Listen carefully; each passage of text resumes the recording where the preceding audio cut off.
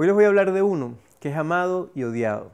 Lo amamos en la cocina y a veces lo odiamos en el aliento. Porque sí, les voy a hablar del ajo. Hoy vamos a hacer oda al ajo. Les voy a enseñar cómo conservarlo en aceite, cómo tenerlo tostadito, qué es el ajo negro y hasta cómo fermentarlo.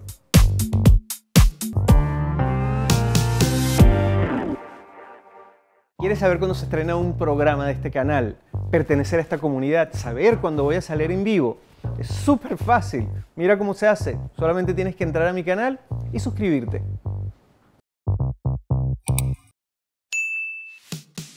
Si hay algo absolutamente soberbio que le entregó Asia al mundo fue el ajo, indudablemente.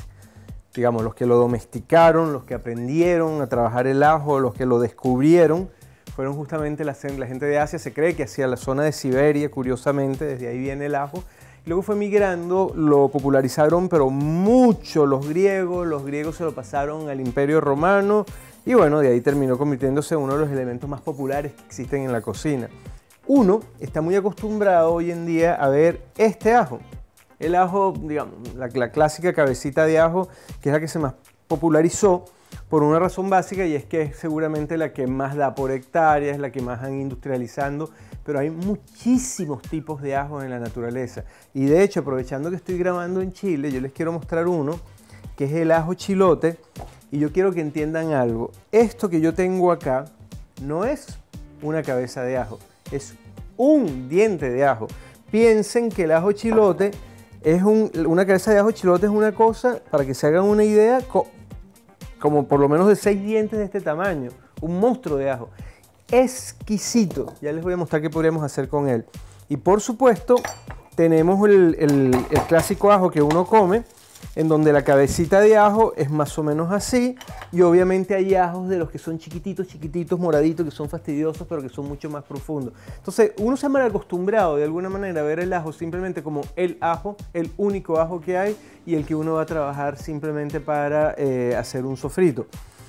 Y es como todo en la vida. A veces la gente dice, ay, es que ese ajo me gusta más porque es más fuerte. No no, ese no me gusta tanto porque no tiene tanto sabor. Todos tienen su momento, todos tienen su lugar.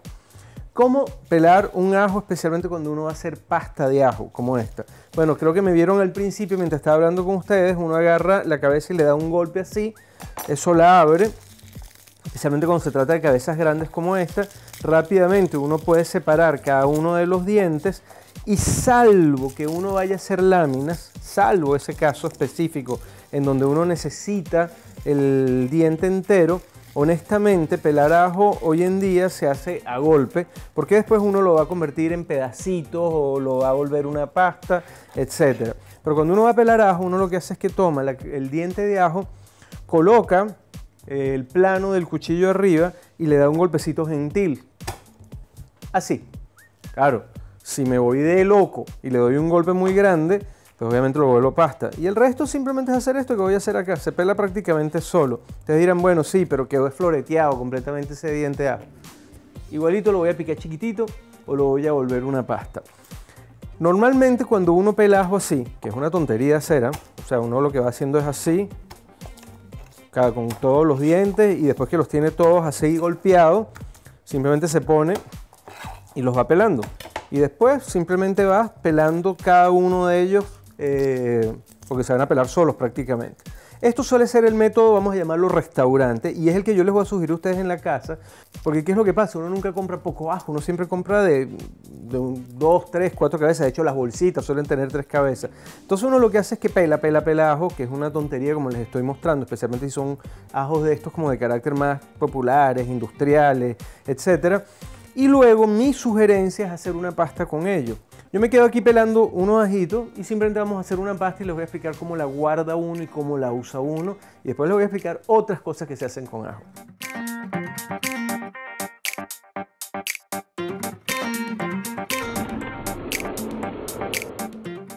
Aquí hay varios puntos con respecto a la pasta de ajo guardada así. Uno, bien importante, yo no recomiendo que le pongan sal. Y no les recomiendo que les pongan sal porque después vamos a ver con una de las preparaciones que vamos a hacer que la sal induce fermentación en muchísimos casos.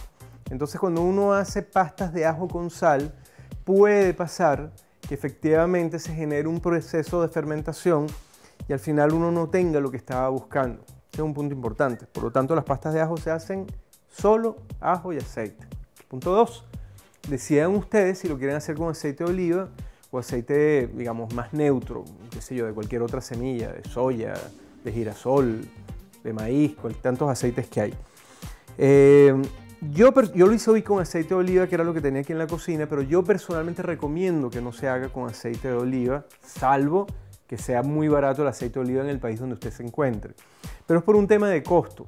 Al final el aceite de oliva va a aportar en el momento que uno está haciendo el sofrito y uno esto lo puede hacer para guardarlo con un aceite un poco más barato. Vuelvo a insistir, si a usted le encanta el aceite de oliva, es el único que tiene, es el que hay en su país, pues con aceite de oliva.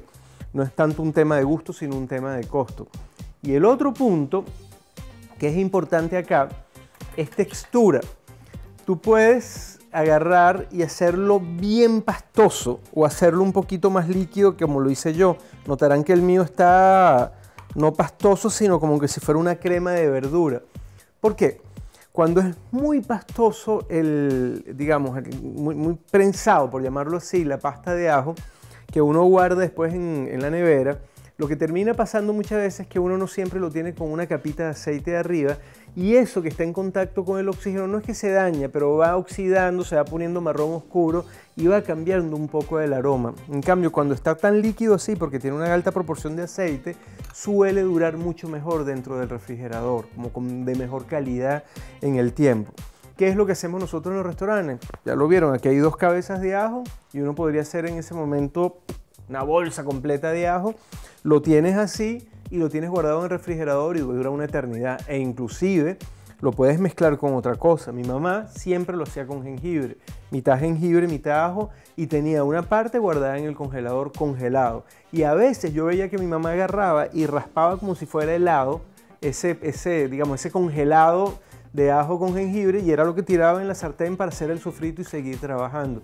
Entonces, no es mucho trabajo y es la verdad muy agradable hacerlo. Vámonos a, otro punto, otra posibilidad con el ajo. ¿Qué tengo yo acá? La misma cabeza de ajo. Obviamente envuelta en aluminio y se metió al horno. Ajo horneado. ¿ok? Muchas veces en cocina le dicen ajo confitado, que es este que yo tengo acá. Bien, lo mismo. Como podrán ver, dos cabezas de ajo que se hornearon. Se hornearon a fuego no muy alto, idealmente unos 150 grados, máximo 180 grados, me refiero en este caso a Celsius. ¿Y cuál es el tema acá? El ajo se va horneando, como se hornea una papa, como se hornea una batata, cualquiera de ellos, agarra un aroma que ustedes no se lo pueden creer. Aquí en este momento toda la cocina agarró aroma en este momento rico a ajo y al mismo tiempo va a concentrar algo de dulzor. De eso voy a hablar un poco más adelante del ajo negro. Cuando uno, ¿cómo sabe uno que está listo? Porque está blandito, como está este acá. Entonces podrán notar que yo lo que hice fue como que cortarle la tapita, así con un cuchillo directamente, así. Y una vez que está bien horneado, uno normalmente, suele ser más fácil recién salido del horno, pero uno lo voltea y aprieta ahí, así como voy a hacer acá, y entonces los ajos salen. Ahí como lo, como, como lo están viendo ahí. Por eso uno abre esa capa superior para que salgan con mucho más facilidad. Este ajo que acaba de salir del horno, voy a darle con el dedo para que se den cuenta, es literalmente un puré, miren. ¿Están viendo? Y de un aroma que ustedes no se lo pueden creer. Mi manera, pero de largo favorita de usar y conservar el ajo, porque esa pasta de ajo, que de nuevo es hasta más fácil que hacer el otro, esta es la que a mí me gusta licuar y tenerla con aceite y tenerla así tipo pasta guardada en, el, en, la nevera o inclusive en el congelador. Y entonces, ¿cuál va a ser el uso de esto? El mismo de todos. Cada vez que ustedes vayan a hacer un alioli, un sofrito, cualquier cosa, agarran una cucharadita de este ajo, que insisto, dura meses en la nevera y la tiran así en el aceite y simplemente tienen dos posibilidades muy claras de sabor de ajo, o ajo horneado confitado o ajo, eh, digamos, crudo con aceite. Ya que lo van a hornear, ya que va a tener este aroma increíble, yo sugiero siempre que aprovechen y le metan aromas adicionales. Si ustedes hacen un acercamiento a casa, van a dar cuenta inclusive que yo le puse pimienta, y uno le puede llegar a poner en algunos casos ramita de tomillo, ramita de romero, un poquitico de aceite de oliva, cosa que cuando yo haga ese puré de ajo acá, obtenga no solamente un puré de ajo para conservar para el futuro, así como está acá, o para ponérselo un pan con perejilito, sino que al mismo tiempo voy a tener entre comillas, una preparación un poco más aromática, con laurel, con tomillo, con romero, con lo que ustedes le quieran poner.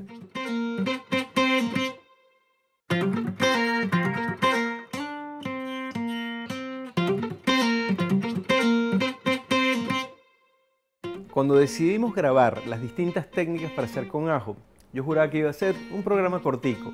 Y son tantas y tan bonitas que al final este programa va a tener que ser en dos partes. Acaban de ver la primera parte de ese programa sobre técnicas del ajo y exactamente en una semana veremos la segunda. A medida que ustedes se suscriben al canal, y si no lo han hecho, háganlo por favor, suscríbanse. De lo más bonito es leer todos sus comentarios. En este programa en particular quiero leerlos. ¿Cómo van a usar ustedes cada una de esas preparaciones?